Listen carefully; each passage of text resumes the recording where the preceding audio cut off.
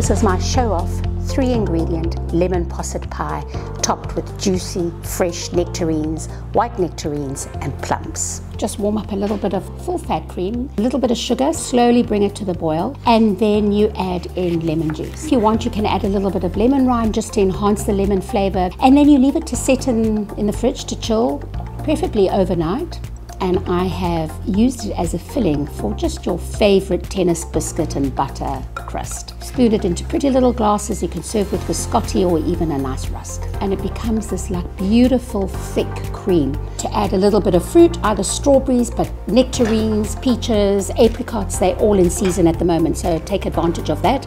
And just arrange them pretty on top, or you can just kind of cut them into dices, it's up to you. But it just adds a lovely freshness and it's an easy peasy lemon squeezy fruit lemon posset tart.